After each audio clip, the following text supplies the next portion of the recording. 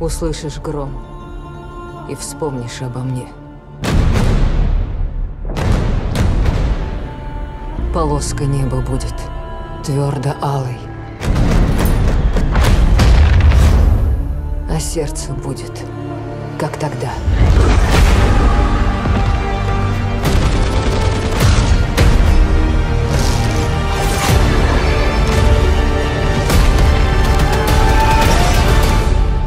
交给你。